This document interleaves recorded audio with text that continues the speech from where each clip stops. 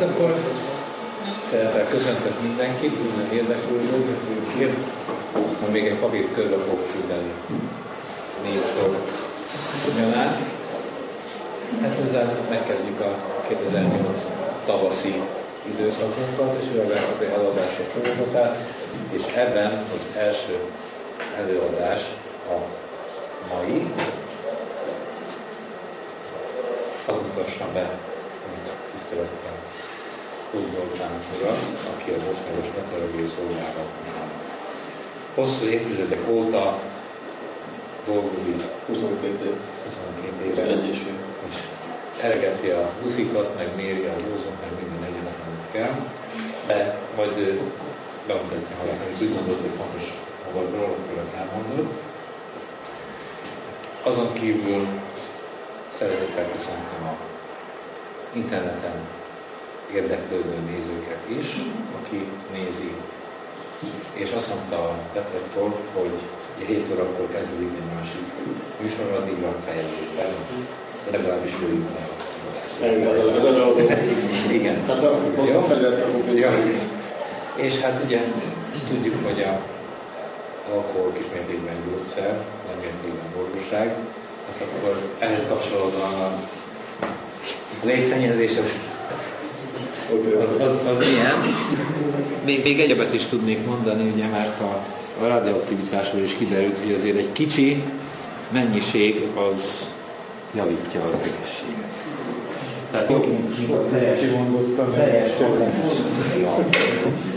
Jó, akkor most átadom a szót. Na, hát, köszönöm szépen megpróbálom, tehát akkor ez jó, mert ha lehet egy a másfél órát kínozni őket, az jó, mert én mindig időbajban szoktam lenni, hogy mindig sokat beszélek, és kevés az idő. De azért, azért megpróbálom nem húzni. Hát ahogy a Gyuri is mondta, én csillagász végzettségű vagyok, és, és légkörfizika végzettségű, és hát egy elég speciális dolgot csinálunk ott, ez a Légkörfizikai Intézet, egy más néven Marcel György Főobservatórium, ahol dolgozom Pesten, Tőrincen, és én konkrétan napsugárzás mérésekkel foglalkozom, légköri, légköri energetikai célú napsugárzás átvitellel, korábban egy elméleti sugárzás átviteli modellek fejlesztését is jelentette, aztán egyre inkább a méréstechnikai alapú tevékenység lett a fő profil, mint ahogy ugye a, a, a financiális alapok egyre inkább elletek az alapkutatásoktól praktikusabb célú, célú mérések, szolgáltatások azok, amiket főleg végzünk. Ebben benne van az, hogy izó van, tehát műszereknek a kalibrálása, a kalibrálási eljárása. Mi a Meteorológiai Világszervezetnek egy regionális napsugárzási központja vagyunk, amit látszik is, és hát ennek megfelelően a kalibráló labor, a műszer hitelesítési kalibrálási eljárások és a kalibrálási tevékenység is egy fontosabb része a munkánknak, de ezt nem akarok erről beszélni, mert nagyon szakmai dolog. Bár manapság egyre fontosabb ugye manapság, amikor már a minőségbiztosítás, a minőségügyi eljárások ugye már nagyon sok helyen olyan helyre is betörtek, ahol régen nem is hallottak róla. Na viszont ezek mondjuk a az alaptevékenységeink azok, amik mondjuk a külső érdeklődő számára ilyen unalmasabb és favágóbb dolgoknak tűnnek, viszont hát azért hál' Istennek van ott tudományra is azért alkalom bőven, ha az ember ügyeskedik egy kicsit és megtalálja a lehetőséget, meg nagyon sok nemzetközi együttműködés, nemzetközi kutatási projektek, amiben dolgozunk. Én két nagy EU projektben is most Magyarország delegáltja vagyok, tehát azért a nemzetközi kutatásban természetesen benne vagyunk, de hát nyilván praktikusabb kutatásokban és fejlesztésekben nem, nem, nem hogy úgy mondjam, nem látnulár kutatásokban. Bár azért az mindig meg lehet jegyezni, hogy, hogy amit mondjuk a, mondjuk a, a nem hozzáértő látnulár kutatásnak gondol, ez nem mindig azért az. Nagyon sokszor szoktam a csillagászat megvédeni, mert ugye itt ott az ember sokfele jár és beszélget ember, és szokták mondani, milyen csillag, mit csinál, nézik a csillagok, mi a felének.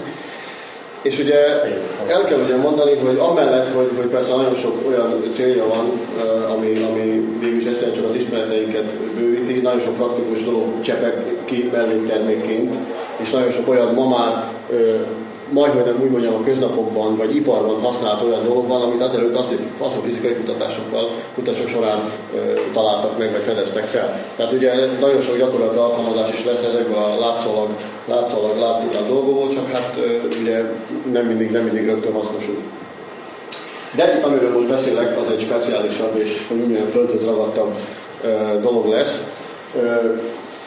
Bár a cím, cím amit a cím sejtett, igazából nem arról fog beszélni, de azért majd fog látszani, hogy miért, miért, miért van értelme ennek a, ezt a címet föltenni. És uh, igazából arról fogok most itt beszélni, hogy hát nagyjából mégis ez a, az a légköri fizikai célú napsugárzás átvitelez mit jelent. Amellett, itt, amit, uh, amire Gyuri megkért, uh, az egy olyan vizsgálat, amit az utóbbi években végeztünk, és a légkörnek az átlátszóságának a hosszú távú változásának a, a, a kimutatására irányuló eredményekről akarok mesélni, és ennek kapcsán egy-két gondolatot fölvetni. Ezek a, ezek a vizsgálatok azért fontosak, mert hosszú távon tudni az, hogy légkör, a légkör átlátszóság hogy az elektromágneses sugárzás számára való átlátszóságot jelenti, tehát a, a sugárzás átbocsátás is lehet mondani, vagy transmisszió, vagy mit tudom én, ahogy kinek hogy tetszik. Ö, és hát ugye egy adott helyen sokféle mérésre alapozva lehet találni olyan fizikai mennyiségeket, ami alapján meg lehet azt mondani, hogy ez az átlátszóság hosszú hogy változik. Ezeknek a, ja, ha már itt van ez a slide, akkor nagyjából itt van, hogy miről fogok mesélni. Ugye a napsugárzás mérésekről egy picit, aztán egy picit az aeroszolokról, aztán konkrétan a, a, az áldosátás, a napsugárzás áldosátás vizsgálatokról, ami a fő része ennek az eladásnak. Aztán majd egy kicsit egy, érdekességet arról, hogy a tökéletesen tiszta atmoszférához képest milyenek a, azok a tényleg előforduló, úgy mondhatjuk realisztikus atmoszférák, amiket meg tudunk figyelni. És még egy-egy érdekességet a szólt és a közvetlen napból érkező sugárzás kapcsolatáról, aminek van egy kis érdekes ö, praktikus praktikus vonzata, nem akarok nagyon szakmai dolgokba lenni. Lesz egy, egy-két ilyen ijesztő szakmai dia, de az azért van, mert nem írtottam ki, mert egy másik eladásból csináltam mindezt.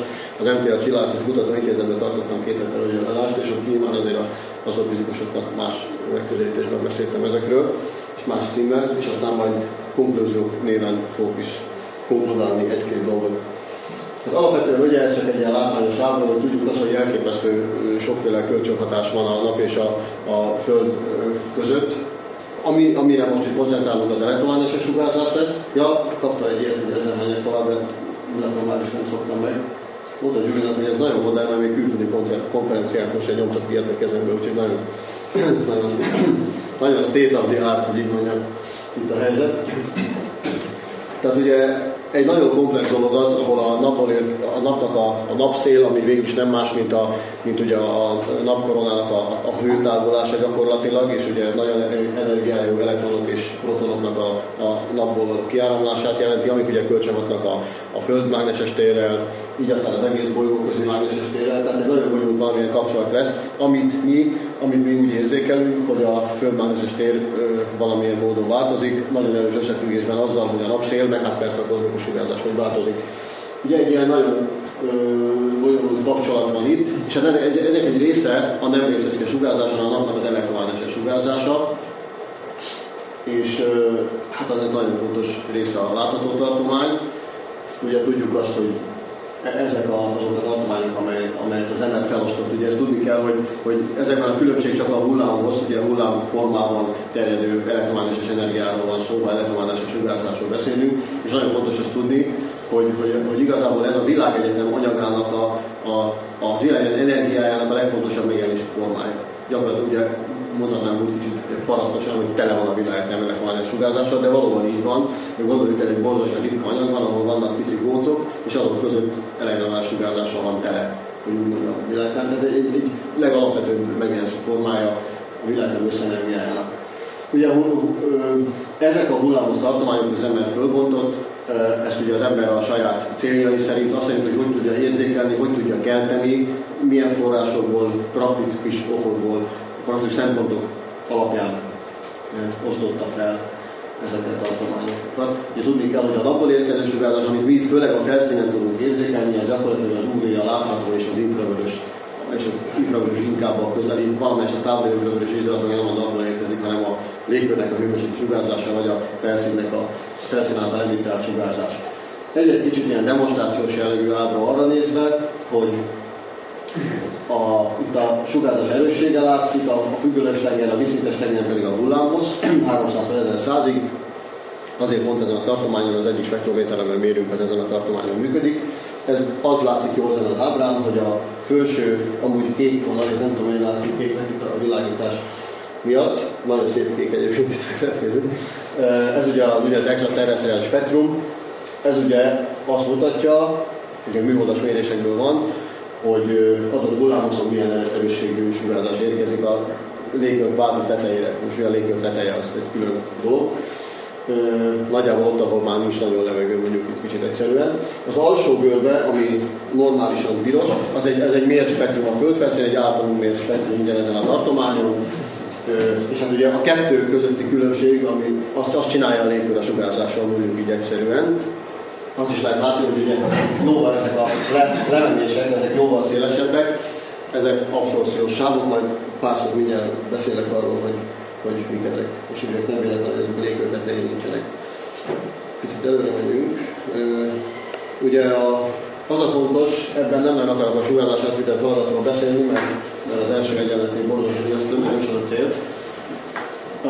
Az ugye a fotonoknak, tehát elektromágneses sugárzásnak, ugye a fotonok a, ugye a hordozó egységei az elektromágneses energiának, fotonoknak és az anyagnak a kapcsolatát jelenti a sugárzás átvitel, amikor kölcsönhatásba kerülnek a anyaggal. Ez ugye abszorpció vagy szórás réven, révén jön létre, az abszorpció elnyelés jelent, azt jelenti, hogy az anyag mindenféle belső atomfizikai tulajdonságai megfelelően, hogy az atomban milyen rezések vannak, hogy forog a molekula, ennek megfelelően elnyelnek bizonyos hullám, minden hullámoszogó máshogy a sugárzásból.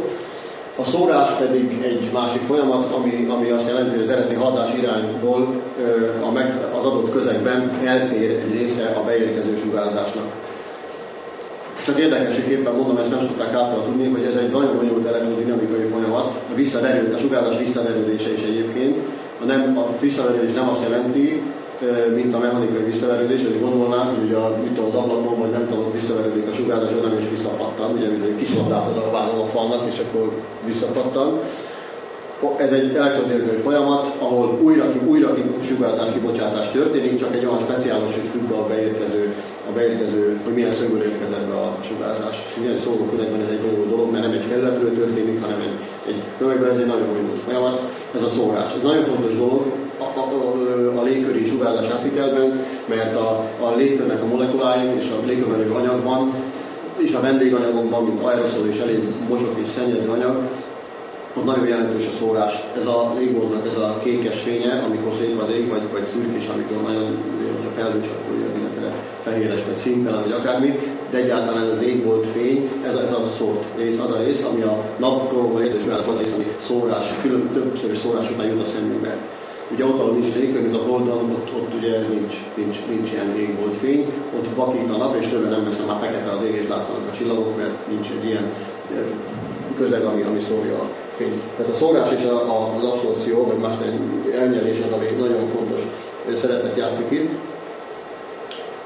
Ebben az ábrán az látszik, hogy a, az alsó kettőt nézzük, a felső nem a izgalmas inkább csak azt, ami az előző ábrát magyarázza, hogy miért más jellegű ugye ez a két spektrum. Ez még nincs csak ilyen bevezető érdekesség, hogy kicsit ráhangolódjunk itt a sugárzás átvitelre. Ugye azt látszik, hogy az alsó, a felső az a felszínen mérhető nagyobb, a spektrumnak a felszínen érzékelhető finomságkezete az alsó körül 11 km, és az látszik, hogy itt rengeteg olyan molekula jön meg, ami nincs. Hát nyilván, mert ott ugye ezek csak az alsó, alsó légrétegben találhatóak meg. Ezekből az alapvető sugárzás dolgokat kicsit átugrom. Ez csak egy példa arra, hogy ha, ha egy levegő csomagnak, egy légcsomagnak, egy kiválasztott, elméletileg kiválasztott légcsomagnak az energetikáját akarjuk vizsgálni, akkor rengeteg sugárzási komponens kell megvizsgálni, jóval többet, amit mi mérünk. A mérések úgy vannak beállítva, hogy, hogy egy meg referencia, horizontális felszín, stb. stb. Viszont ha elméleti sugárzás átvitel akarunk vizsgálni, akkor viszont rengeteg egyéb visszavert szórsugárzás, visszavert direkt, egyszeresen szólt, lefele haladó direkt, stb. stb. látjuk, ez külön sugárzás átvitel óra lenne, amit most erről akarnék beszélni, ezt nem akarom részletezni.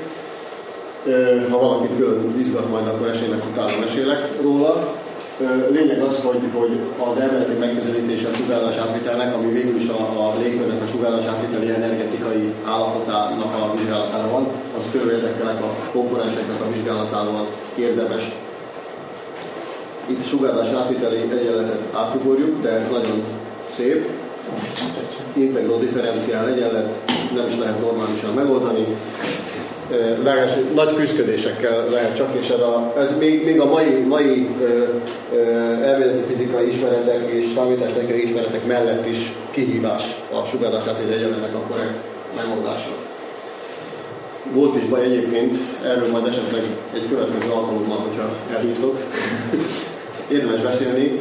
Egy magyar fizikus, aki korábban kollégánk volt, a Miskolci Feri, már nagyon rég külföldön dolgozott, a NASA-nál dolgozott, és ő a sugárzás átvitel egyenletnek egy speciális formát, a szürke közelítéses megoldást, ezt neked mondom, hogy nem ismerik nyilván, ezt ő oldotta meg jól először, úgyhogy annak idején Milne, Milne és Eddington, akiktől azóta is a klasszikus megoldás származik, 1980 elrontották, illetve csináltak egy olyan közelítést egyenlet, ami nem teljesen jó. Aztán ezt később rájöttek az asztrofizikusok, hogy ez, hogy ez nem jó, de a nap, napfotoszférára alkalmazva, a napbeli sugárzás alkalmazva ez nem okozott gondot. A földi légkörben senki nem állt neki, mert, mert nagyon problémás és Miskolci Ferenc most megoldotta. Ennek aztán mindenféle ö, okai vannak az egész, következményei vannak az egész üvegház hatása, mindenre, de úgy néz ki, hogy az egész máshogy néz ki. Úgyhogy nagyon izgalmas dolog egyébként. De most itt visszajövünk egy kicsit a földhöz ragadtat témánkhoz, ugye, hogy ezek alapján, most ez, amit mondtam, egy kicsit az elméleti megközelítése volt a sugárzás átvitelnek, amit viszont, amiről beszélek, és amit én csináltam, azok a mérések alapján történtek, hosszú távú, nagypontosságú, különböző nap, napsugárzás komponenseknek a mért adatsorai alapján kimutatni azt, hogy a légkör átlátszósan hogy változik. Elsőre azt mondanánk, ugye ilyen vizsgálatra az, aki még nem csinált ilyet és nem dolgozott hosszú távon nagyon sok adatsorral, főleg azokból számolt fizikai mennyiségekkel, az ugye azt mondaná, hogy hát nem egy olyan nagy dolog, hát most ott van az adat, megnézzük, hogy csökkennek vagy növekednek, milyen a trend, aztán szevasz megnézzük. Az a baj ezzel, hogy, hogy egy ilyen vizsgálat, mint a, mondjuk a légkör, vagy bármilyen közegnek a, a, az átlátszósága, az áteresztés, azt így megfogni ö, olyan paraméterkel, mivel kis effektusról van szó, tehát nyilván nem az van, hogy, hogy ha mondjuk úgy változott, hogy egy teljesen tisztából ide adtak egy légkört, aztán még tele is vágták homokkal, mert ez lenne, akkor ugye könnyű lenne a kimutatás bármiből, meg, vagy fordítva. Nyilván nagyon kis effektusokról van szó, és a kis effektusoknál, ami azt jelenti, hogy nagyon gyenge lesz a trend, ha lesz egyáltalán, ugye sejtünk valamit, hogy, hogy a szennyezés növekedett itt az elmúlt évtizedekben, tehát ugye várhatjuk, hogy valami növekedő valami lesz, nyilván kicsit várunk, mert mondom, ugye nem az lett, hogy kerenyoltuk homokkal a, a légkörtelen föld környezetét, tehát nyilván kicsit rendet várunk. Ilyenkor megfelelő paramétereket választani. Erről nem akarok beszélni, mert ez nagyon szakmai dolog, de igazából itt az is volt a munkának a célja, hogy kiválasszuk és kimutassuk, egy szakdolgozó segített, aki a, a, a számításokat és a fabából részeket megcsinálta, hál' Istennek helyettem. Köszönöm, is mondok, Márk János, a fizikus metodológus hallgatóban végzett. Tehát kiválasztjuk azokat a mennyiségeket, amik, amik használhatók, elég érzékenyek erre, és jól mutatják az effektus. Tudni, egy-két alapvetős napsugárzási komponens, mint a globál sugárzás, ami egyszerűen a teljes féltérből beérkező összsugárzás jelenti, együtt a napkoromból érkező sugárzással és a szósugárzással, annak a vizsgálata, vagy akár a direkt sugárzás, ami egy kicsit erre már érzékenyebb dolog, ami konkrétan a napkoromból érkező összsugárzás, azon a majdnem a teljes spektrumtartományon, ahol a napból érkező energia jön. Ez nem elég jó mutatója, nem mutatja elég erősen, hogy úgy mondjam, szakemberek a szignifikánsan az effektust. Ezért ők is trükköljük és válaszol olyan mennyiségeket, amik, amik, amik erre jobbak, amik erre jobbak, érzékenyebbek.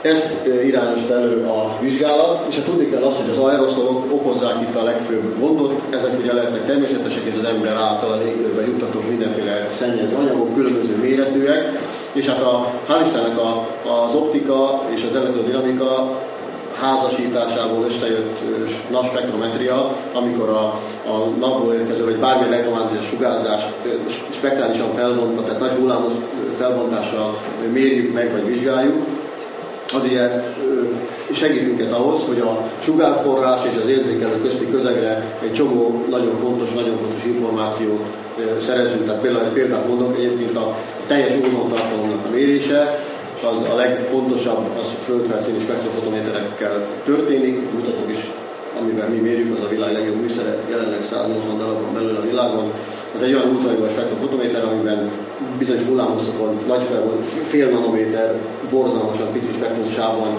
mérjük meg a leérkező sugárzást, és egy sugárzás átviteli modellel számolható az ózon tartalom. Az ő elnyelése meg egyebben alapján. Ezt most nem akarom itt részletezni.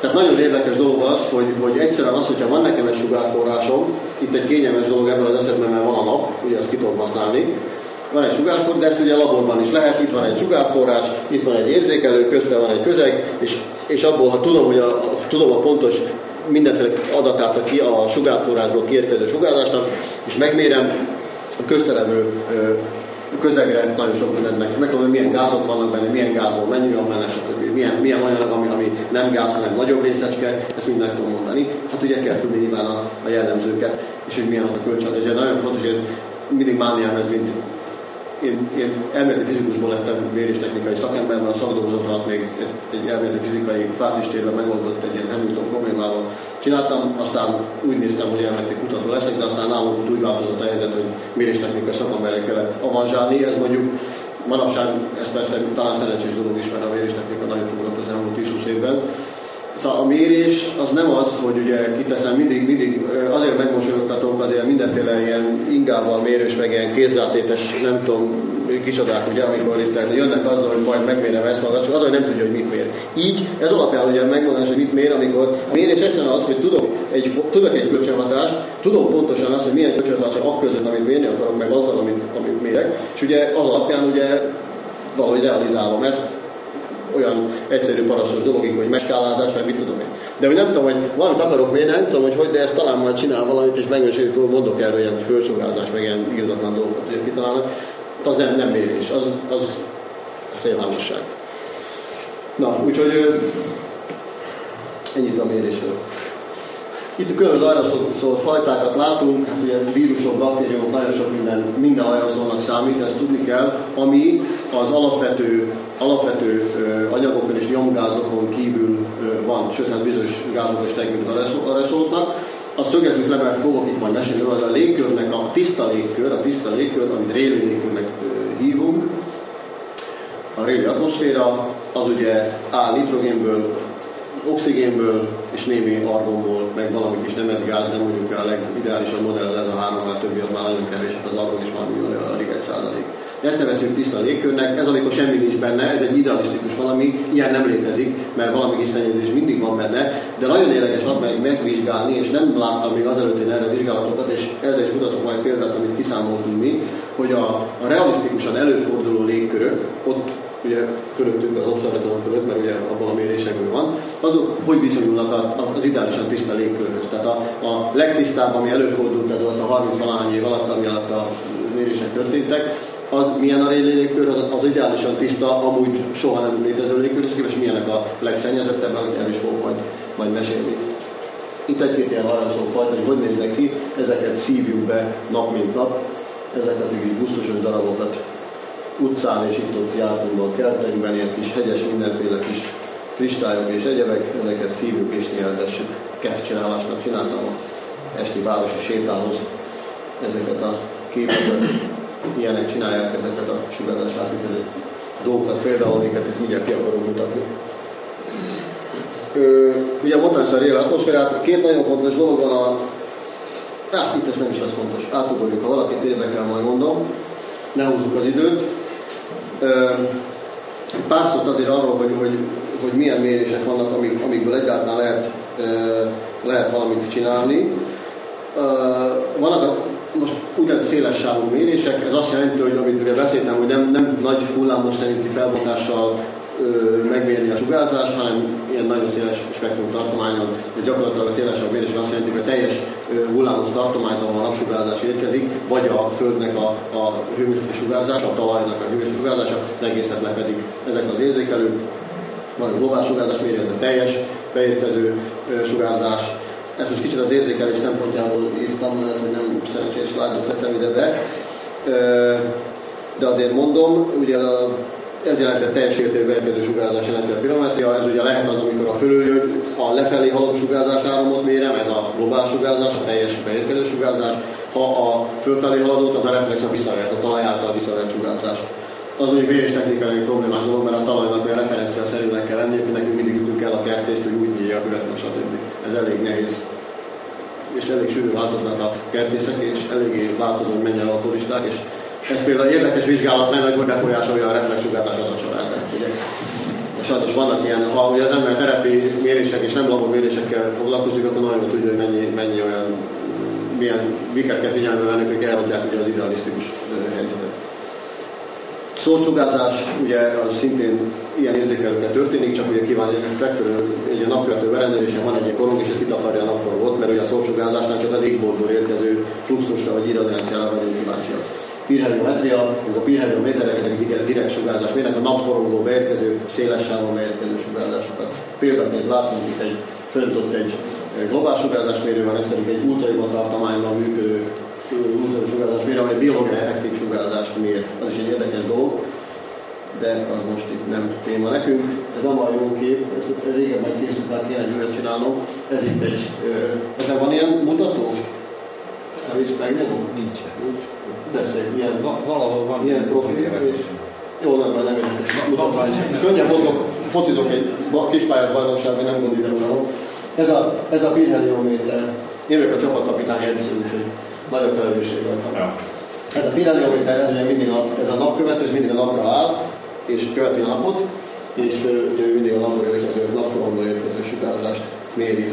A spektrális mérések ugye azt jelenti, hogy a, most egy ilyen részletezők ennyire, ugye lehet azt, hogy spektrálisan mérjük meg a globál sugárzást, vagy spektrálisan a napkoron mérjük meg a sugárzást, lehet különböző hullámos tartományok.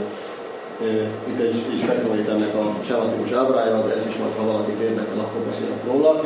Itt két nagypontosságú spektrofotométer látszik, az napsugárzás mérőtoronyot a mérőkertünkben. Ez a látható a közeli ultraigat, az ultrai bolyának a legrövidebb tartományában, a láthatóban és a közeli infravörösben mér. 300-tól 1100 nanométerig, akinek volt ez valami. Tehát, ugye, és egy nanométer felbontással méri meg a beérkező irradianciát, és ebből, ezekből az értékekből bizonyos hullámhosszokon lehet számolni azt a, itt az előadásban nagyon fontos mennyiséget, az aeroszol optikai mélységet, ami, ami a légkör összennyezés, össz, össz gyeng, sugárzat gyengítésére jellemző mennyiség. Ez a másik, ez a Bruger spektrofotométer, ez ezek azért ö, tudni kell, csak hogy el tudja mindenki helyezni, hogy itt nem milyen barkás valamikről van szó. Ezek nemzetközi referencia műszerek, ez a látható tartományban a világ egyik legjobb műszere, Amerikában gyártják Nebraska-ban, a LIT cég. Ez pedig a spektrofotométer, a másik az az UV tartományban, a, ez a mondtam, a világ legjobb műszere. Hát ez egy kb. 50 millió forint az ára forintra számolva. Ez, ez ilyen olcsó vacaka látható, ez olyan a 20 millió csak.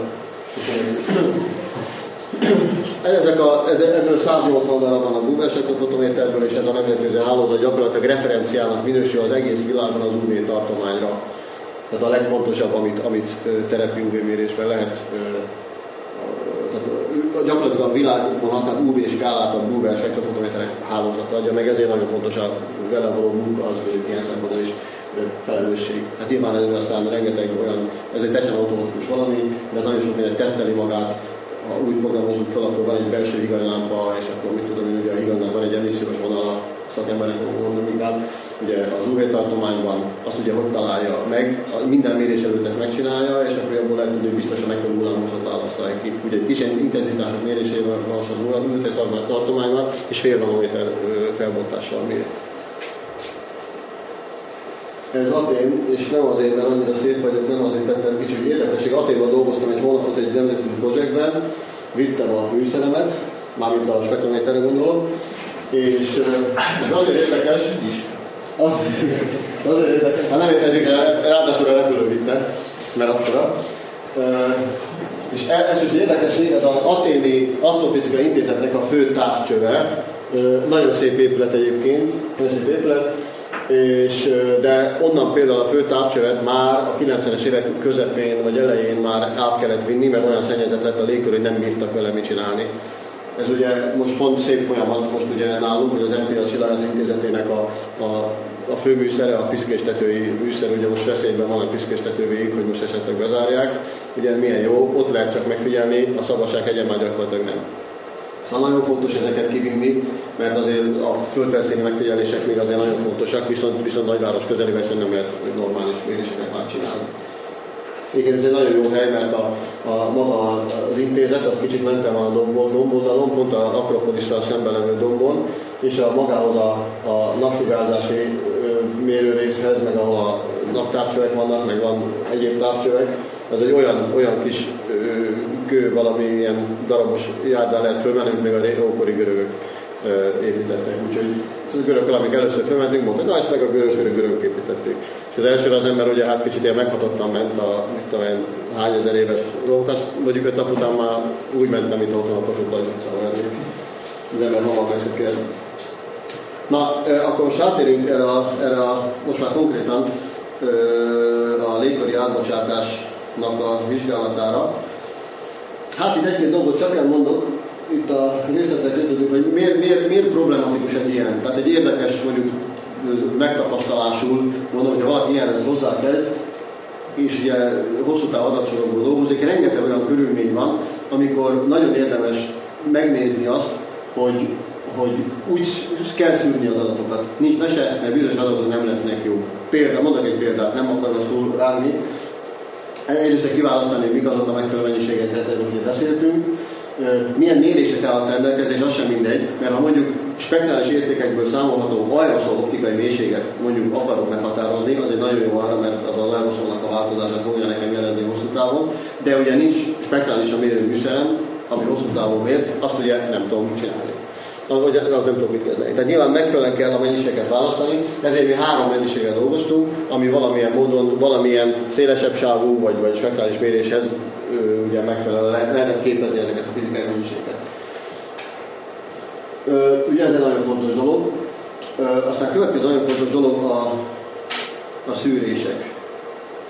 Ezt még nem értem, hogy... Ja, igen. Ja, bocsánat ezt lehet, hogy fordítva a készvágyot. Ezek a mennyiségek, amiket vizsgáltunk, ezért most senki nem mond semmit nem szakembernek, mert nagyon speciális fizikai mennyiségek. Az elsővel nem fogunk foglalkozni, mert gyakorlatilag arról kiderült már, hogy ez gyakorlatilag egy nagyon egyszerűen a globális sugárzásból képzett mennyiség, és igazából nem elég érzékeny. A másik három az, amire kell koncentrálnunk. Ez a kettőhöz nem kell nagy fontosságú spektrális mérés, de mindenképpen kell, ehhez kell diffúz, tehát szórt sugárzásmérés és teljes beérkező sugárzásmérés, tehát a globális sugárzásmérés, ehhez pedig direkt sugárzásmérés, tehát a napkoromból érkező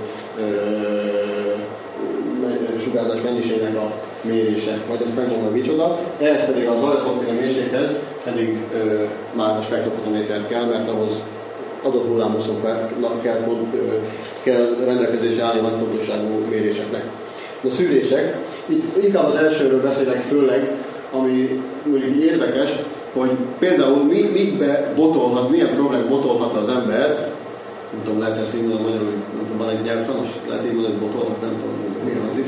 Botling. Botling, jó, köszönöm. Esetenként botling.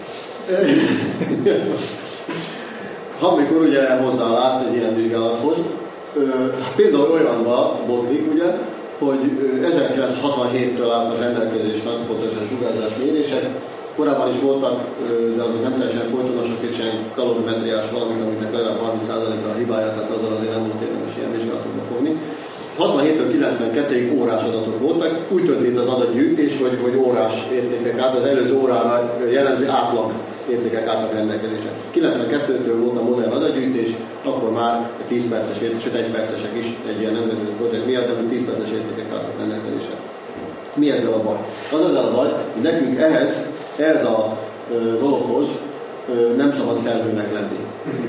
Ugye, mert a felhő felhő az egy más közeg a légkörben.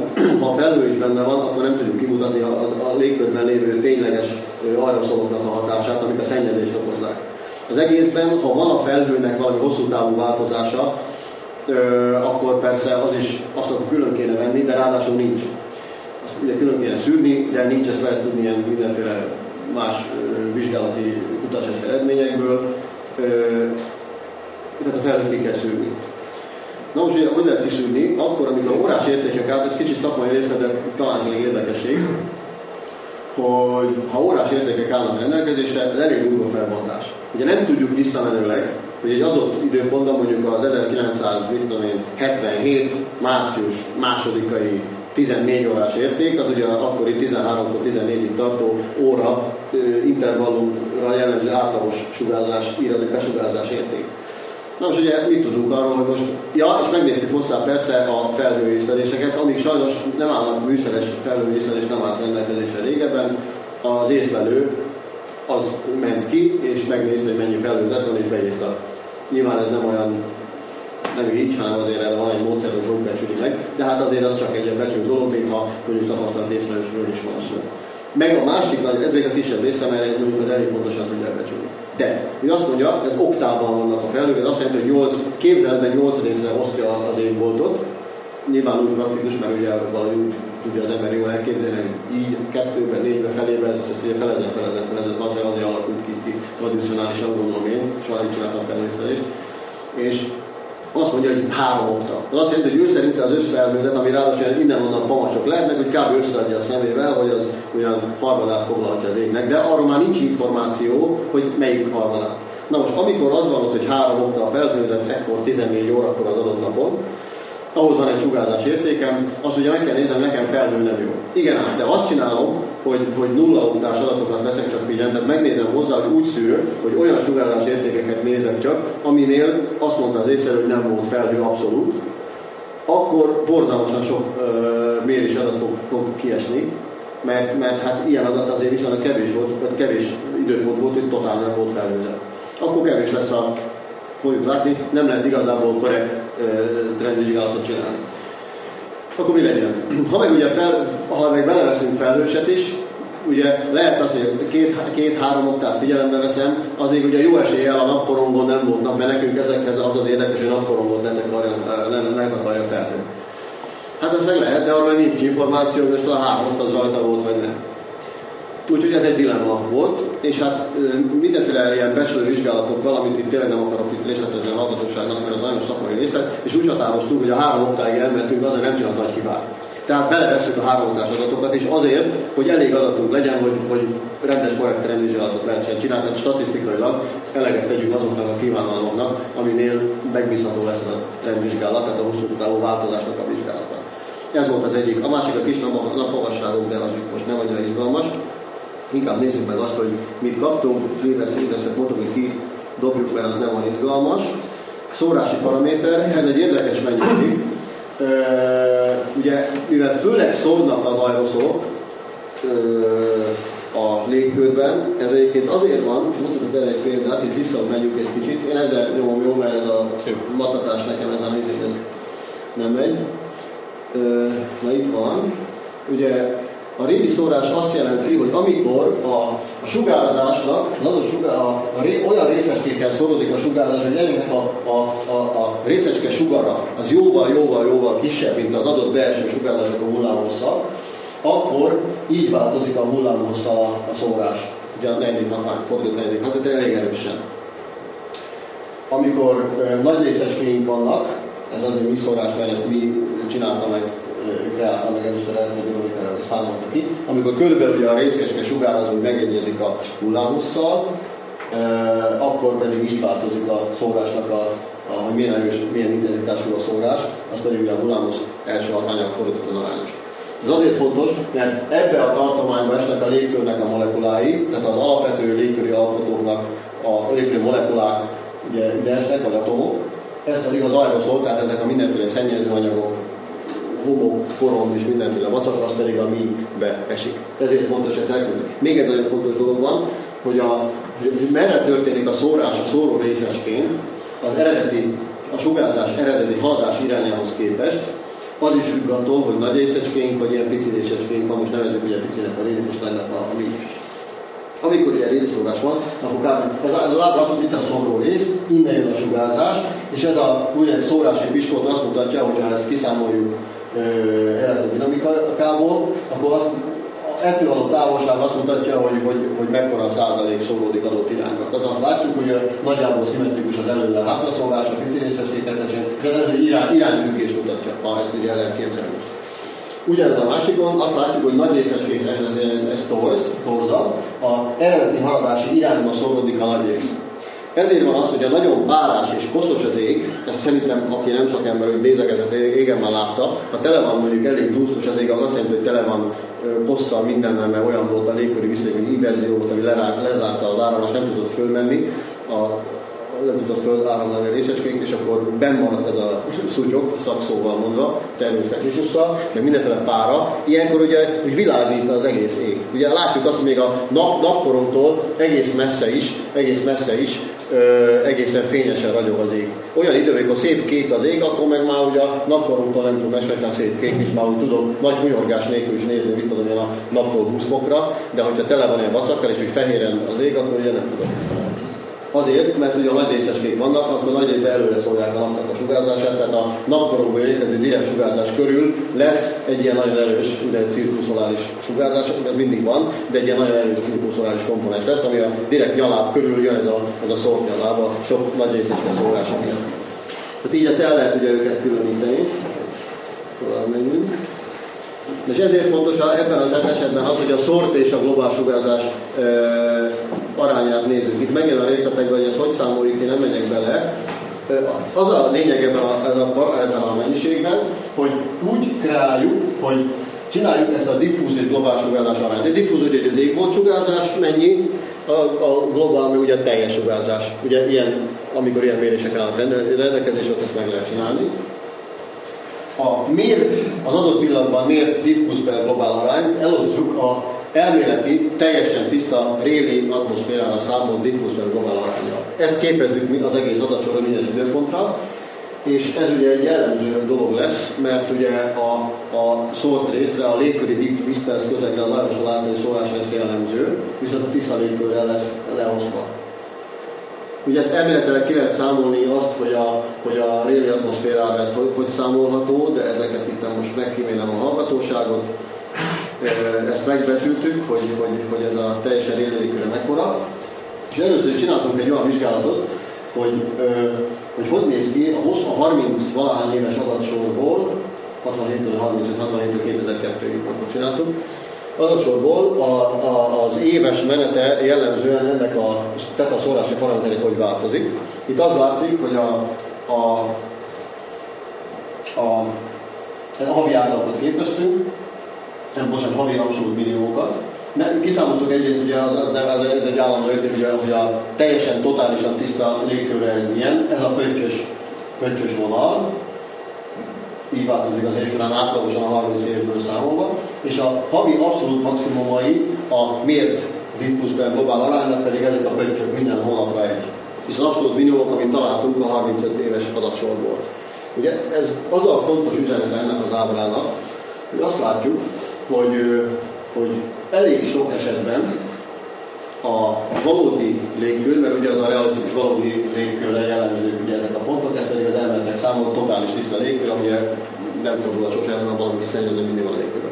De azt látjuk, hogy a havi minimumok azok nagyon sok esetben teljesen közelítik a légkört, tehát tud lenni nekünk ott Budapesten, mondjuk a város viszonylag a szélén vagyunk, de azért az még ugye azért a nagyváros, ott is tudnak lenni gyakorlatilag majdnem totálisan tiszti, közel régi atmoszférák, majd a számszerűen is fogjuk látni egy másik vizsgálatban, amit csináltam. Tehát ilyen, persze nyilván nagyon ritka esetben, borzasztó ritka esetben, de úgy ki tud olyan, tudnak olyan légkör dinamikai körülmények lenni, hogy totálisan tiszta tud lenni a, a légkör, majdnem, majdnem olyan ideál, ideális réli légkörünk van, ami olyan nincs más, csak az alapvető alkotók, mint nitrogén, oxigén, meg, meg ugye nagyon pici Ez nagyon érdekes, itt a hosszú távú változása látszik ennek a szórási paraméternek 67-től 2002-ig a különböző hónapokra. Érdekes, teljesen más a színű, normálisan, hogy pirosnak és kéknek kell lennének, de mindegy, látjuk azért a különbséget. Itt most nem akarok részletekben, és mondta, hogy a nulla oktás és a három oktás szűrés miatti különbségek az adatokban. Látjuk azt, hogy a, a nulla és látszik is, hogy azok ugye sokkal, sokkal hézagosabb adatok, mert ugye ott jóval nagyobb lett a szűrés, kevesebb adat maradt. Ott már annyi volt, hogy nem lehetett elég megbízhatóan rendvizsgálatot csinálni.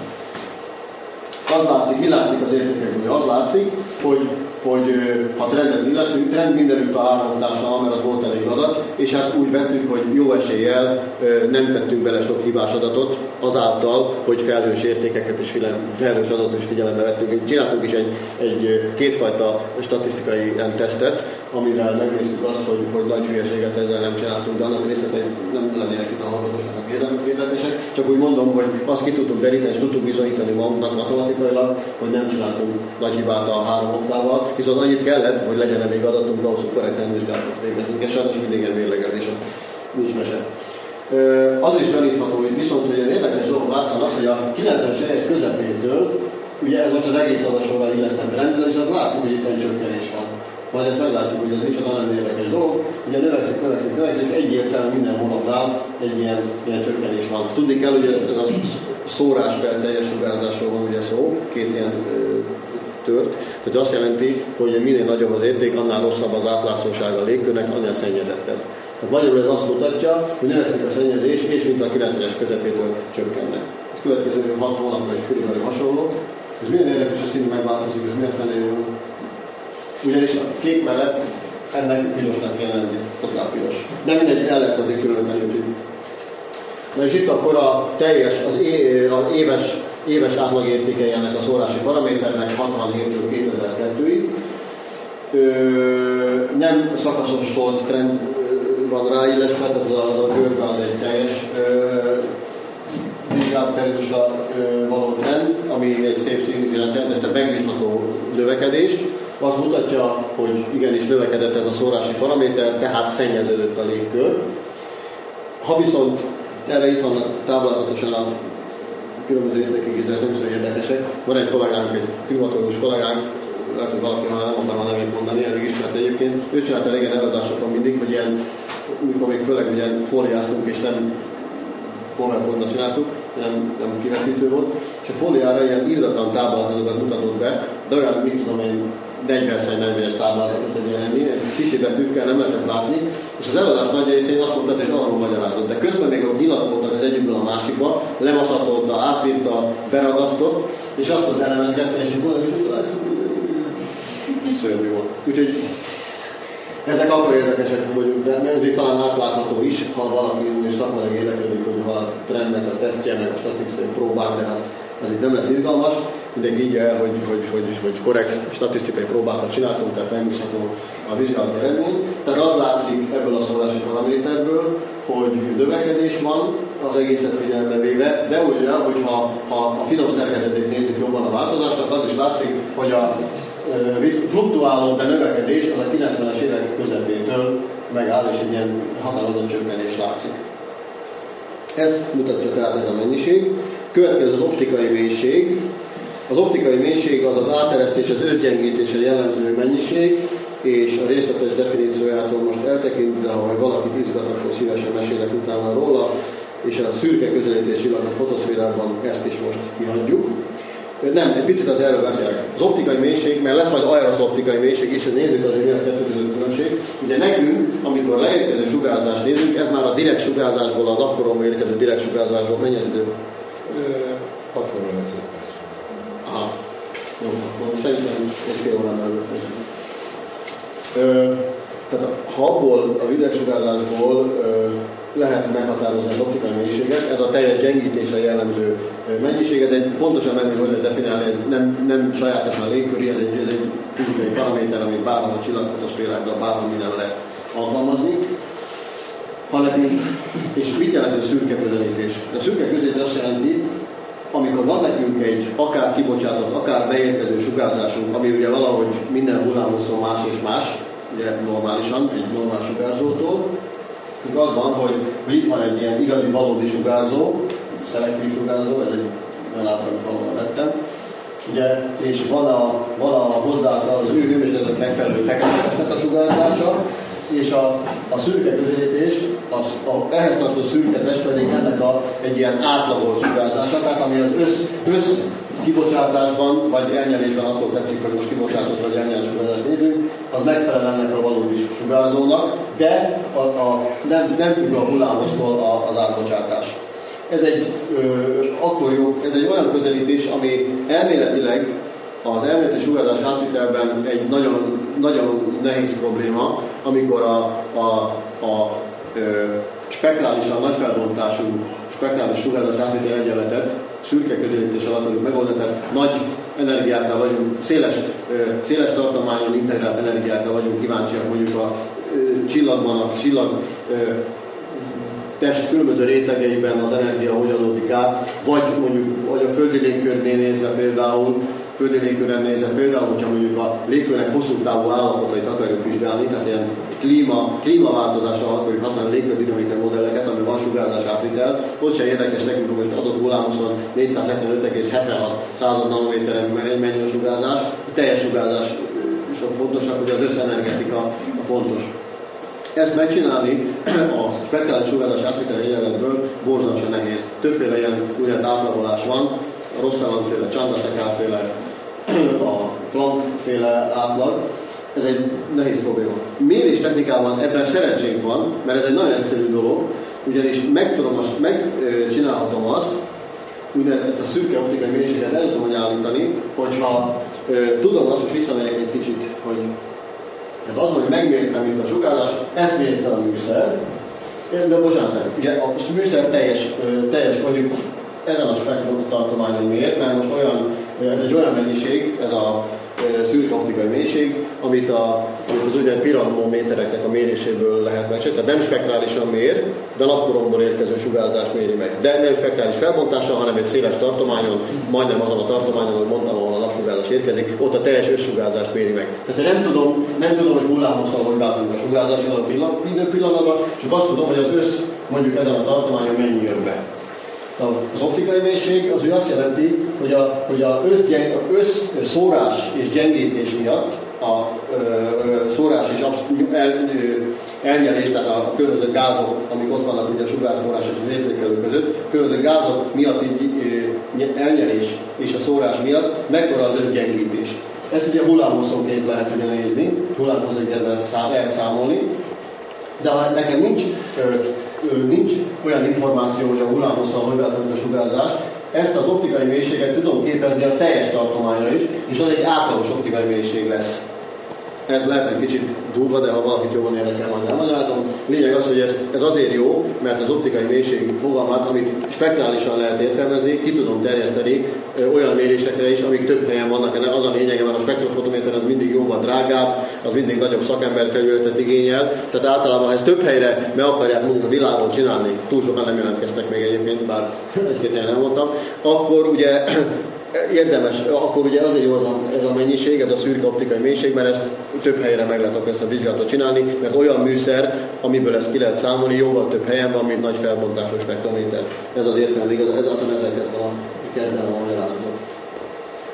Na, mit, mit adott, beszéljünk erről a szürke optikai mélység. Ebből csináltam egy átlagos menetet, mert ez a, elég, elég jó a, a légkörű szennyezőanyagokra már egy kicsit érzékenyebb paraméter, mint az előző, ez a tetaszolási paraméter. Itt az éves általános menete látszik az optikai mélységnek, ami nagyon erősen a szennyezőanyagokkal függ össze. Ez a, a 35 évből egy átlagos menet, ugye az látszik, hogy nyáron mindig nagyobb az optikai mélység, ez minél nagyobb, ez azt jelenti, hogy annál inkább szennyezettebb a légkör, annál rosszabb az átlátszósága a légkörnek. Tehát egy ilyen általános menete van. Ez kb. összevág, néztem ilyen levegő kémikusoknak a, az in situ méréseivel, amikor ilyen különböző nyomgázoknak, meg, meg ilyen arra szóló munkákat nézve, hogy általában szennyezettebb a légkör nyáron, tehát ez optikailag is sikerült kimutatni. Itt pedig a hasonló hosszú távú trendek a különböző hónapokra, mint amit a tetaszórási paraméterre is láttunk. Meg, nagyon hasonló a kép. Ez azért, azért szép, mert végül is egy, egy meglehetősen más, más, mér adat, más mért adatokból máshogy kifejezett fizikai mennyiség nagyon hasonló képet mutat. Nyilván most a számokkal itt nem terhel a hallgatóságot, de még a, a trendnek a, a menete, a trendnek a, men, a nagysága is nagyon hasonló, és az egész, egész arculat, a finom szerkezete a változásnak, és a trend is elég hasonló, sőt az is hasonló, hogy itt szépen ugyanúgy csökkenés látszik, mint a tetaszórási paraméternél, tehát ez igazolja az előzőt, hogy ilyen, ilyen tisztulási folyamat sejthető a 90-es évek közepétől. Ez a, ugyanúgy ez a, ugye az évnek a második hat hónapja. Itt pedig a szürke optikai mélységnek a hosszú távú változás, az éves átlagok vannak 67-től 2002-ig. Ha visszaemlékszünk, megnézzük a, a tetát, ugye teljesen hasonló volt a, a képe a tetaszórási paraméternek, itt van ugye ez a a tetára, és itt pedig a szűk optikai mélységre, nagyon hasonló, még a finomszerkezet is viszonylag hasonló, és az is ugye, hogy, hogy a trend is elég hasonló az egészre, írt trend, azt megjegyezve, hogy viszont az látszik, hogy ha szakaszon trendvizsgálatot csinálunk, akkor egy kicsit más lenne. Itt erősebb lenne, itt pedig egy határozott csökkenést kapnánk valami 93, 94, 95-től.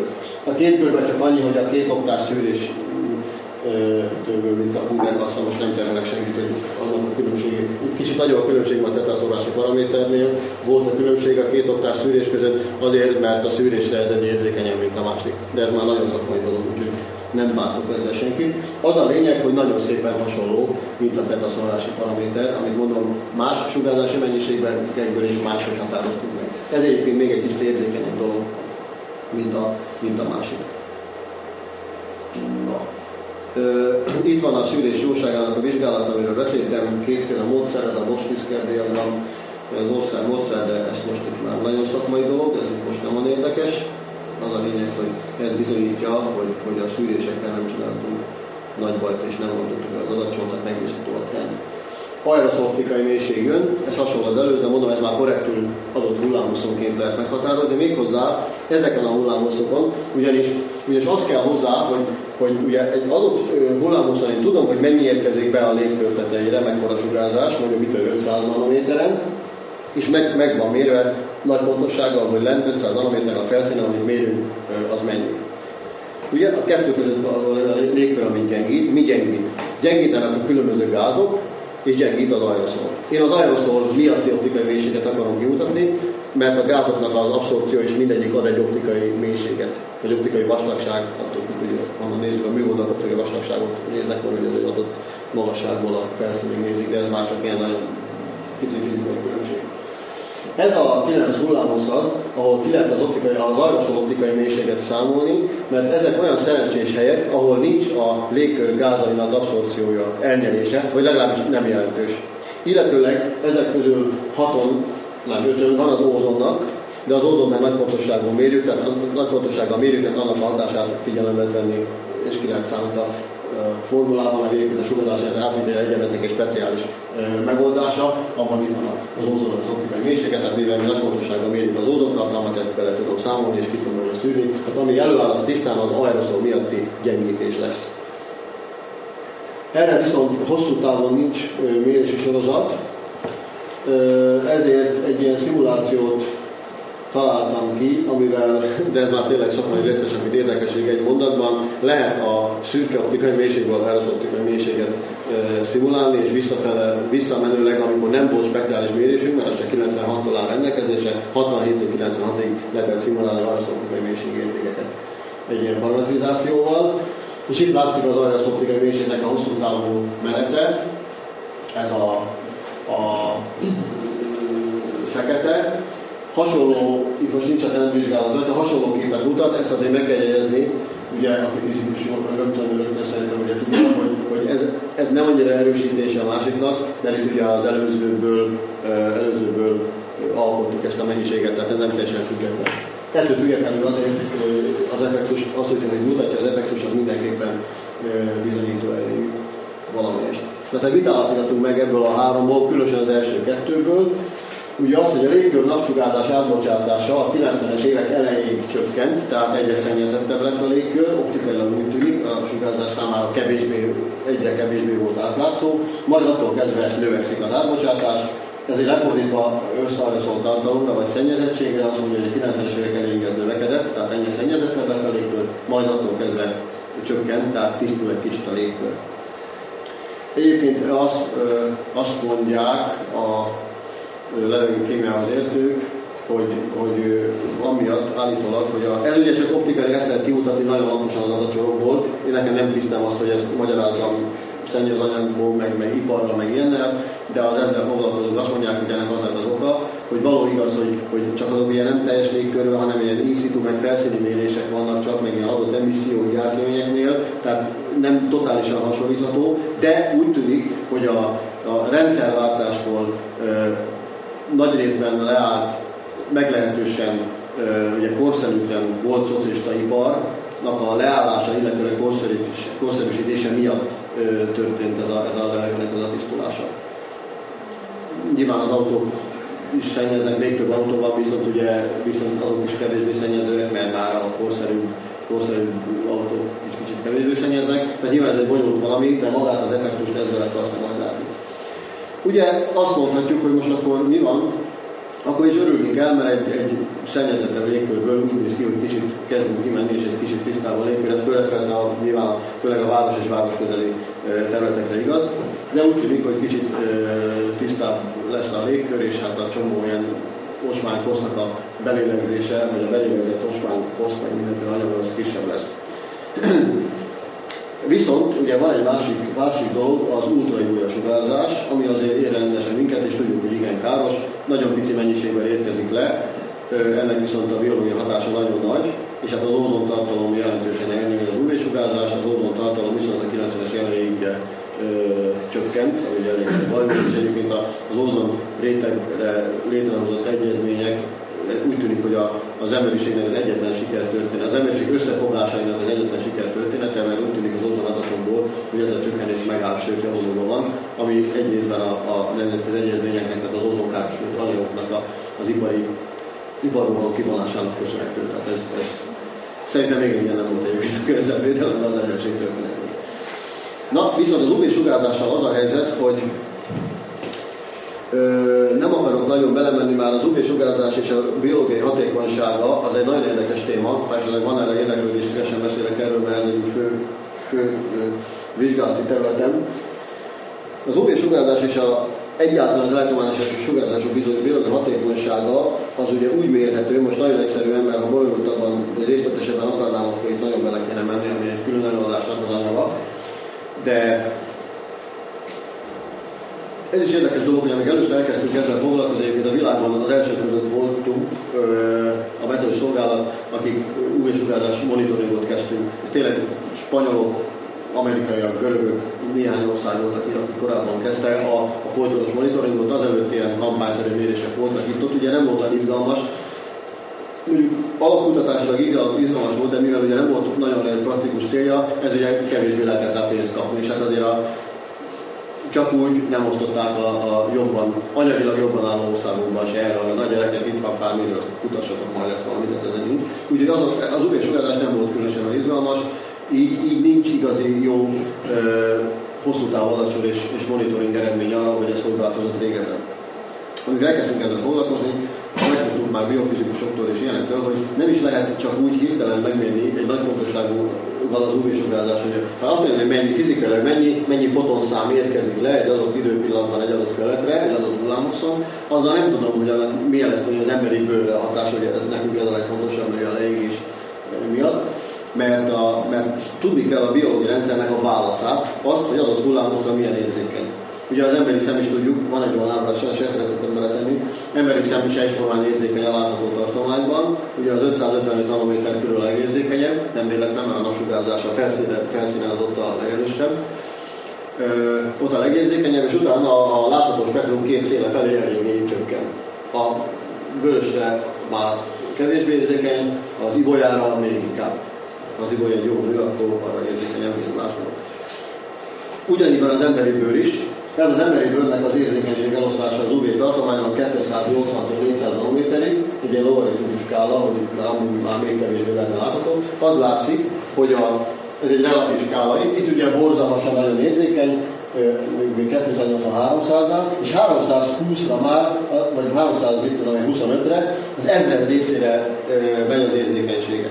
Ez azt mutatja, hogy ha én megmérem nagy pontossággal csak a leérkező sugár, UV-sugárzást 280-400-ig, azzal nem mondok semmit, mert ugye a, a beérkező sugárzás fizikailag meg ugye növekszik. Itt van egy példa erre, ez egy a pirosan feketével csinálják.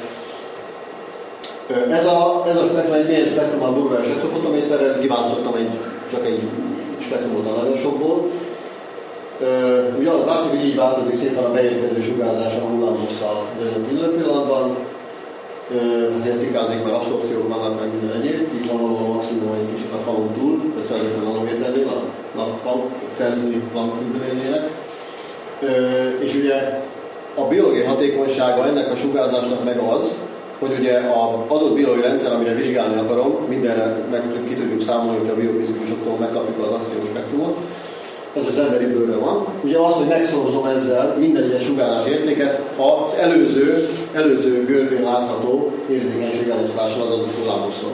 Ugye? Mivel ugye az érzékenység olyan, hogy a rövid hullámokon borzalmasan nagy, aztán nagyon-nagyon picivé válik, ez ugye megváltoztatja a leérkező tényleges fizikai sugárzásnak a görbéjét, az, az, az a biológiai hatékonyság egész más lesz, mert a, a biológiai hatékony sugárzás pont nagyon nagy lesz, ahol nagyon kicsi a beérkező sugárzás, mert arra viszont hiába kicsi, nagyon erősen érzékeny a bőr. Itt pedig már nagyon érzékeny a bőr, ugye látjuk ezen, itt már ezzel, de itt már hiába nagyobb a beérkező sugárzás, az már nem lesz számottevő. Tehát ez nagyon fontos és érdekes, nem is akarok többet mondani, érdekes téma a biológiai hatékony UV sugárzás, hát itt különböző bőrtípusok, hogy milyenek, meg mi a bőrreakciója. Itt a leégési idők vannak, ezt kiszámoltam egyszer, persze ezeket érdemes mesélni, hogy ezek micsodák, de ezt majd esetleg máskor. Ami itt a fontos nekünk, ugye. Érdegélünk itt, és hát nézzük azt, hogy milyen UV sugárzást kapunk. Nálunk nagy pontoság UV sugárzások az obszervatóriumban 1995 óta van, az minden spektális mérés 98-tól lett a újdonság, de mondtam, hogy terve, most mindegy. És itt ugye három ábra van egymás alatt. Egyrészt ugye az UVB sugárzat, ja nem, ugye mit akartunk itt megnézni? Azt akartunk megnézni, hogy milyen jó, ugye azáltal, hogy az ózontartalom a 90-es évek közepétől, most itt ózon, hosszú távú ózontrend táblát éppen nem hoztam meg ennek az előadásnak, előző az a lényeg, a, az ózonnak hosszú távú ö, változása olyan, hogy 90-es közepétől szépen gyengült és abban maradt ez a csökkenő trend, és szépen elkezdett egy nagyon picit visszanövekedni. Ez más helyeken is egyébként a mérsékletőben így van. Ennek nagy része úgy tűnik, hogy valóban a, a, a nemzetközi egy, egyezmények hatására történt. Ami nem kis dolog egyébként, mert ezek az ozonkárosító anyagok írtatlan sokáig vannak a légkörben, vagy tudnak lenni, mert nagyon nem reaktívak és 150-200 éves is lehet az átlagos légköri tartózkodás idejük. Tehát az a baj, hogy amikor megtörtént az egyezmény, azért nem lesz rögtön visszaalakulás, mert, mert, mert ugye nagyon sokáig ott lesznek a szatoszférában, és ugye csinálják azokat a folyamatokat, amikkel roncsolódik az egész, most. Ugye más a helyzet ugye a, a itt a városi szennyezésen, mert az van, hogy, hogy nagyon nagy a szennyezés, ugye a smogriadó vannak, azt mondják, hogy állítsák le, ha nem tudom, a páros rendszámú autókat, ugye nagyobb városokban ilyen szokott lenni, és akkor az pár órán belül ugye szennyezőleg elment, kész, megszűnik, viszonylag helyreáll, hogy jobb lesz a helyzet. Itt a teljes ozontartalommal ez nem ilyen. De úgy tűnik, hogy, hogy kis javulás elindul. Mit látunk itt? Nézzük azt, hogy amióta az ózon elkezdett ugye mondjuk nem csökkenni, sőt egy nagyon picit visszaemelkedik 90-es elejétől, ott látnak az éves átlagai vannak az ózontartalomnak, Ugye azt várnánk, hogy mi az ózon erősen elnyeli az UV-sugárzást, azt várnánk, hogy akkor milyen jó az UV-sugárzás, és akkor kicsit csökkenni fog a veszélyes élő szervezetekre veszélyes, káros UV-sugárzás is csökkenni fog. Ez volt az egész ózon problémában a fő veszély, hogy azáltal, hogyha nagyon elkezd ugye csökkenni az ózon, akkor az UV-sugárzás növekedni fog, és, és elég brutális hatása van a élő szervezetekre, bőrre, szemre, mindenre. Na, megnéztem akkor, hogy hogy változott az UV sugárzásnak az összegei erre az időtartamra, és egy meglepő dolgot tapasztalt az ember, mert bizony az látszik, az UV sugárzás egy nagyon picit növekszik. Akkor ugye mi van most? Vagy ugye a fizikát nem tudjuk, vagy az ozon nem tudja a fizikát, vagy ugye kicsoda nem tudja, hogy mi van. És hát, mert ugye ennek kicsit csökkenni kéne, ha az ozon növekszik. Hát itt van az optikai mélység ismét, ugye, aminek a változását nézzük, és amit látjuk, hogy a 90-es elejétől csökken, tehát tisztul a légkör, és ebben az időszakban tisztul a légkör. Ez most itt becslő számítás, hogy meg is becsültem, hogy, hogy igaz az, amit ugye az ábra sejtett, hogy ugyan az ózontartalom egy kicsit növekedett, tehát ettől az UV-sugárzásnak egy kicsit csökkenni kellett volna, de ugyanakkor a légkörnek a sugárzás átkeresztő képessége meg a tisztulás miatt növekedett, tehát ez kb. kompenzálta az ózonnak a hatását. Ugye ez érthető. Ezért ugye bár azt, láttuk, azt várnák, hogy az UV-sugárzás csökkenni fog, vagy legalábbis nem növekszik, ehhez képest nagyon picit növekszik. Itt föl lehet tenni a kérdést, ugye, hogy most akkor, most akkor mi jó, ugye itt van az előadásnak a címe, hogy biztonságos, hogy biztosabb, hogyha a szennyezett, vagy ha tiszta légkörben élünk, egészségesebben. Most ugye ennek itt az a konklúzió, hogy mindenképpen baj van, azt lehet megválasztani, hogy olyan dolog megdögleni, városi szennyezéstől vagy UV-sugárzástól a gyönyörű tiszta levélyen a hegyekben. Ugye, ráadásul most azt látjuk, hogy a városban is egy kicsit növekszik ugye az UV-sugárzás. Ez picit egy, nagyon picit nem teljesen igaz, ez kicsit hatásvadászat egyébként, amit most mondtam meg az előadás címe is, de így talán többen beérte. Mert ezt tudni kell, hogy ugye itt a, ez a légkör átkeresztésnek a javulása, az ugye nyilván csak egy szintig fog menni. Ugye nem fog akár meddig, mert valószínűleg szennyezés mindig lesz. E, tehát ez egy, én azt sejtem, hogy nagyon tovább már ez nem fog változni, de mindenképpen a dolog figyelemfelkeltő. Az előadásnak a címe, az a kérdés persze jogos, mert például fönt magas hegyekben ott, ott valóban az ózontartalom csökkenésével az UV-sugárzás tényleg növekedett, tehát addig meg volt a veszély. Ott, ott, ott viszont, ha az ózon csökkenni fog. De ez a dolog, és, és nem árt azért, azért résen lenni.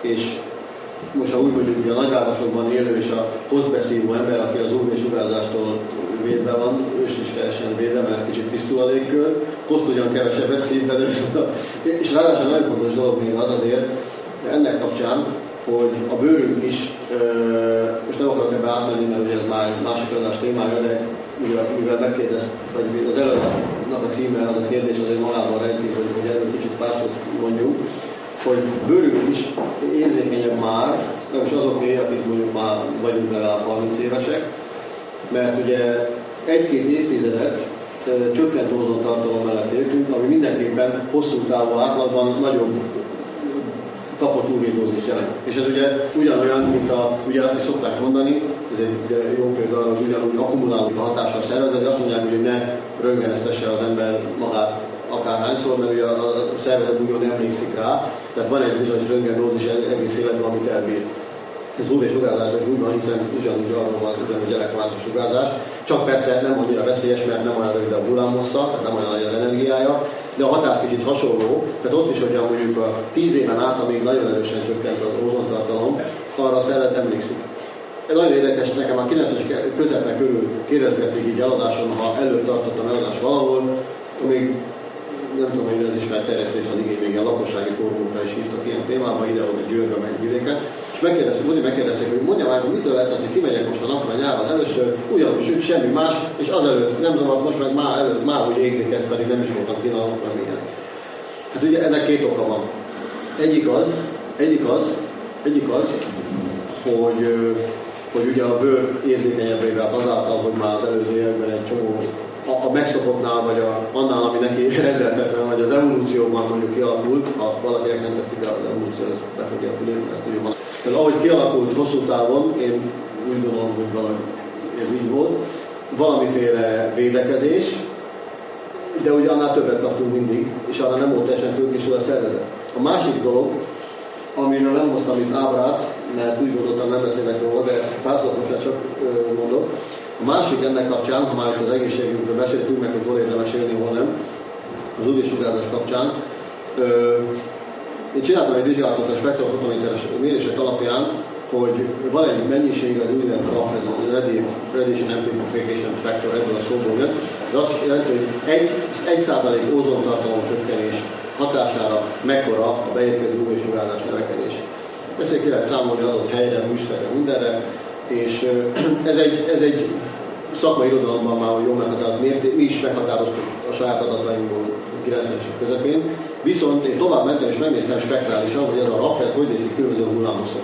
Az ember azt gyanítja, hogy ahogy a, ahogy a rövidebb hullámhosszok felé megyünk, ez egyre nagyobb, és valóban egy nagyon erős emelkedést kapunk a mérési adatokból is korrektül kiszámolva, ami viszont azt jelenti, és ez nagyon érdekes dolog, hogy, hogy ugye a nagyon rövid hullámhosszokban, amiből alig jön le valami, mert kiszoródik, meg fotoionizációs folyamatokban fölemésztődik az energiája, de hát némi foton valamennyire jön. Azok a nagyon rövid hullámok, szinte mérhetetlenek, alig kapunk nullától kömözött, meg 280 nanométeren például.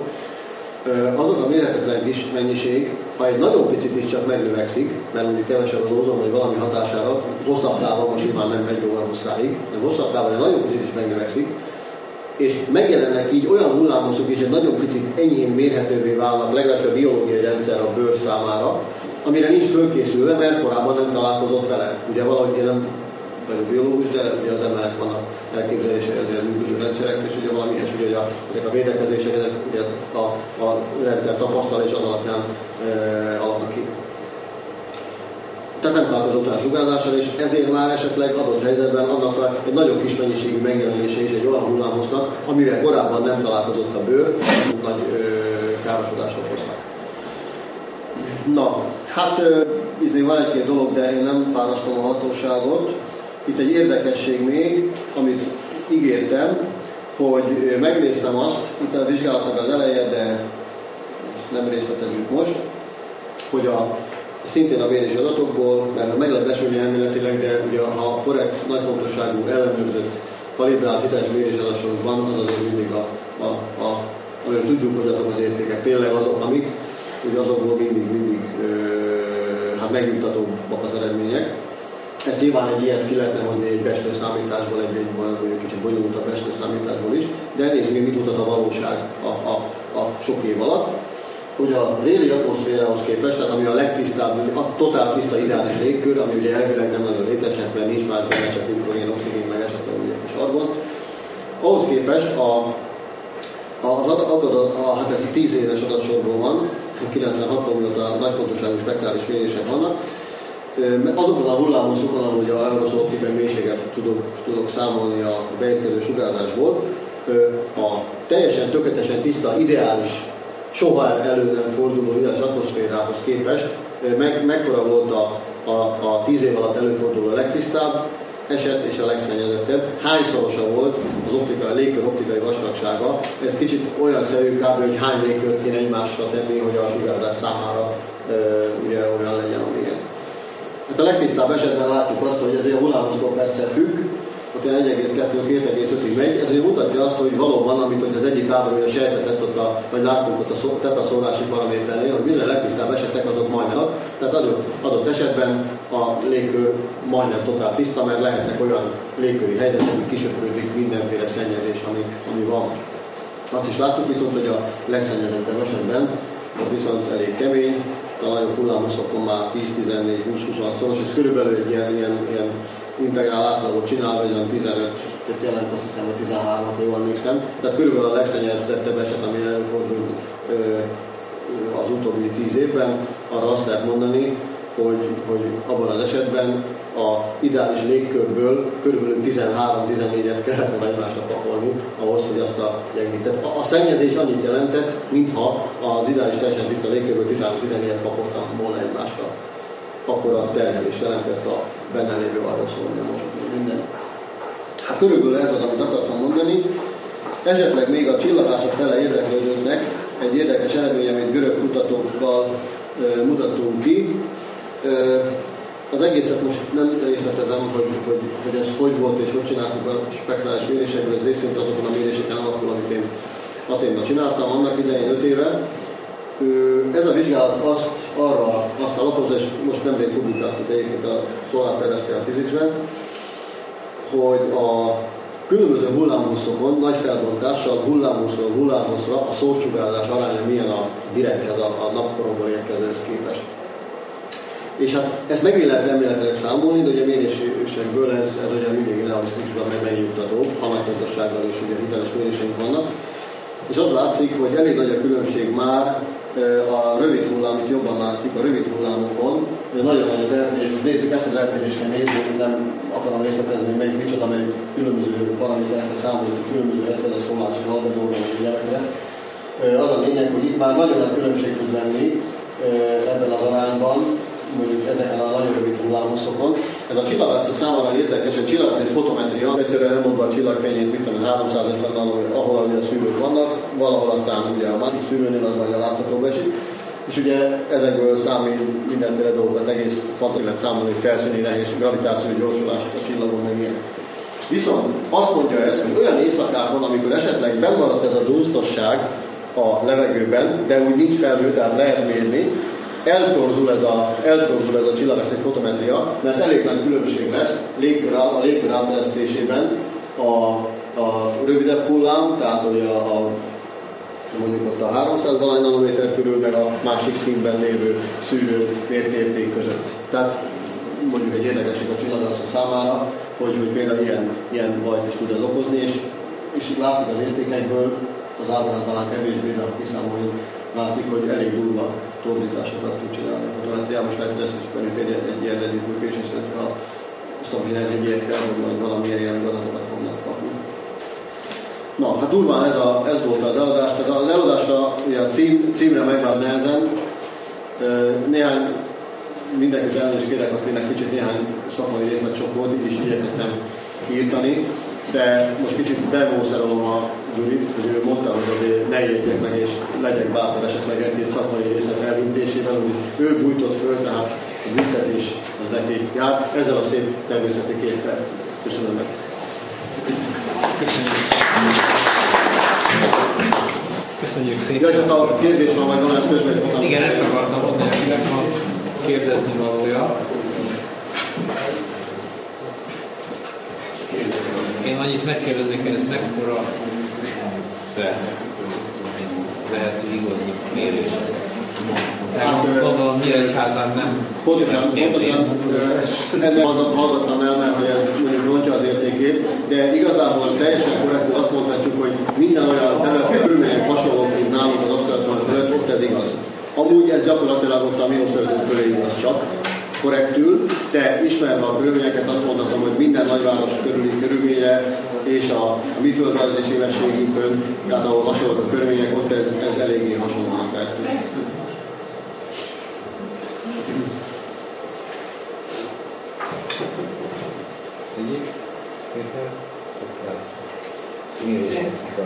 Méréseknek én a nedvesség szerepét nem láttam teljesen tisztán, mert azt, mit jelent az, hogy nedvességtől tiszta? Ugye attól, hogy nedvességtől tiszta, ott, ott még sok minden zavarhat, mert attól függ, hogy mi okoz, annak megfelelően más-más asszociációk lehetnek a vízzel, és miközben azt gondoljuk, hogy nincs is nedvesség, attól az még komolyan bezavarhat. Pontosan, pontosan így van, szerintem van, nem mondtam a nedvességből is, az esetben kettő voltam. Nem, hogy feltűnnek tehát ilyen közben van az a tiszta mérés. Ja, a tiszta azt jelenti, hogy csak a felhőt kellett kizárni tudni. Az a baj, hogy itt a, arról, hogy, hogy optikailag, sugárzás áteresztésileg adott pillanatban sugárzásáttételileg kiszámolni elméletileg, hogy a felhőben mi történik a fotonnal, és nagyjából mi lesz adott felhősugárzás, az ki lehet. Amikor egy mérés alatt van, akkor elképzelés sincs, hogy milyen optikai vastagságot okoz egy adott felhő. Ezért ezeket ki kell lőni. Igen, csak amikor nincsen felhő, az, hogy mennyire nincsen, tehát az, hogy milyen lehet az a páratartalom, ami keresztül megy, az még komoly. Így van, így van, így van, ez egy nagyon jó kérdés. Ez valóban egy kicsit hibája a dolognak. Ezt most ugye, hogyha el akartam volna menni a részletek felé, akkor ezt nagyon fontosan, nagyon fontosan megemlítettem volna, hogy ebben egy olyan kis kiválasztási effektus, hogy emiatt, hogy felhőtleneket veszek, mindenképpen kicsit ö, ö, túl lesznek határozva a szárazabb, kisebb nedvességtartalmú értékek. De azt hiszem, hogy maga a, a paraméterek választása miatt viszont ez nem okoz nagy baj. De két hogy az nagy igazság, úgyhogy köszönöm szépen, csak mondom, ezt nem akartam belemenni, de ez így van, ez nagyon részletes.